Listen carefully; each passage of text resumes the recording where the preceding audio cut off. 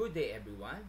Today I will show you how to multiply simple fractions by another simple fractions, simple fractions by mixed numbers, and mixed numbers by mixed numbers.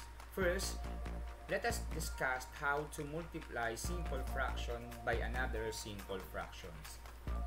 Let us have this example. We have 2 over 5 times 3 over 4.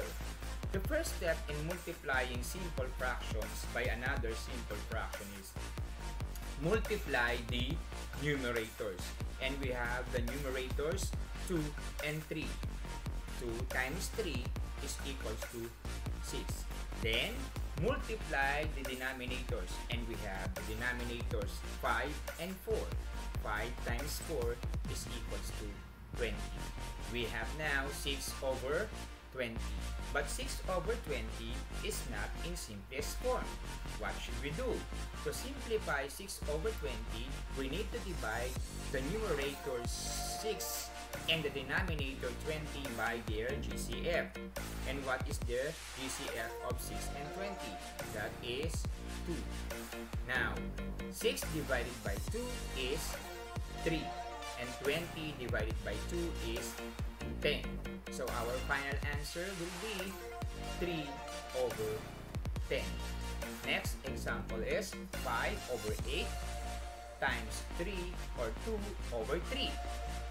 Again, using the same step, multiply the numerators. We have 5 times 2 is equals to 10 and multiply the denominators. We have 8 times 3 is equals to 24. So we have 10 over 24.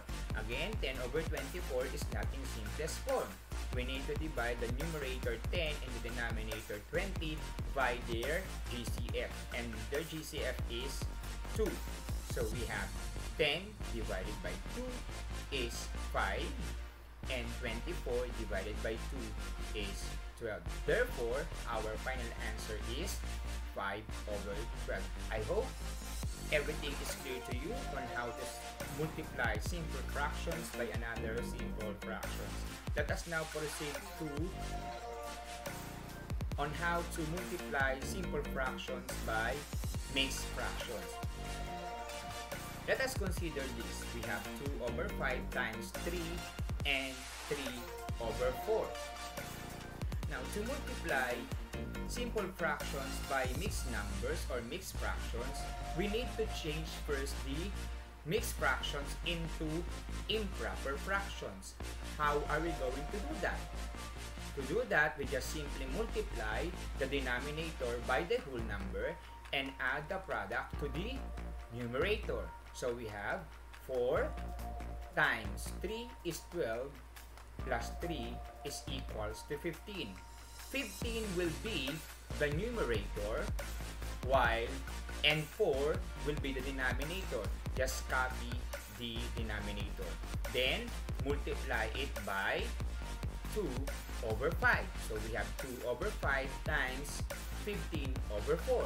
We can now multiply the numerators. We have 2 times 15 will give you 30 and then multiply the denominators. We have 5 times 4 will give you 20. So our answer is 30 over 20. Again, we need to simplify 30 over 20 by dividing the numerator 30 and the denominator 20 by their GCF. And their GCF is 10. So we have 30 divided by 10 is 3 and 20 divided by 10 is 2. The answer will be 3 over 2. But we have an agreement children. Every time your answer is an improper fraction, you need to change it into mixed number or mixed fraction. And what is 3 over 2 in mixed fraction? That will be 1 and 1 over 2. I hope everything is clear to you on how to multiply simple fractions by mixed fractions. Let us now go with the last one, which is multiplying mixed fractions by mixed fraction. Let us have this example.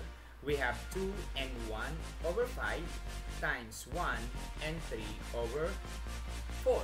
As you see, both factors are mixed number. So the first step is we need to change them into improper fraction. How are we going to do that?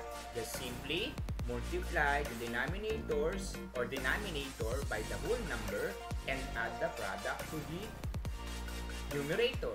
We have now 5 times 2 plus 1 is equals to 11. 11 is your numerator and just copy the denominator 5. So you will have 11 over 5.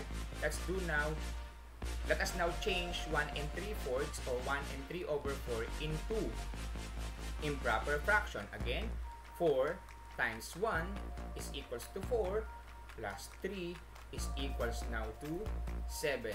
So the numerator is 7 and then copy the denominator 4. So we have 2 and 1 over 5 which is equals to 11 over 5 and 1 and 3 over 4 4 which is equals to 7 over 4. We can now multiply them. So we have now 7 times 11 or 11 times 7 then multiply also the denominators 5 and 4. 11 times 7 is equals to 77 and 5 times 4 is equals to 20. Now, 77 over 20 is already in lowest term. But we had an agreement that every time your answer is an improper fraction, you need to change it into mixed number. How are we going to do that? To do that, we just simply divide the numerator 77 by the denominator 20. So we have 77 divided by 20. How many 20? How many 20s can we get from 77? That is 3. Then multiply 3 by 20 will give you 60. Then subtract 77 by 60. You will have 17. Your quotient will be your whole number. That is 3. Your I'm sorry. Remainder which is 17, that will be now your numerator. And your divisor, that is 20, that will be now your denominator. So our final answer is 3 and 17 over 20. Okay?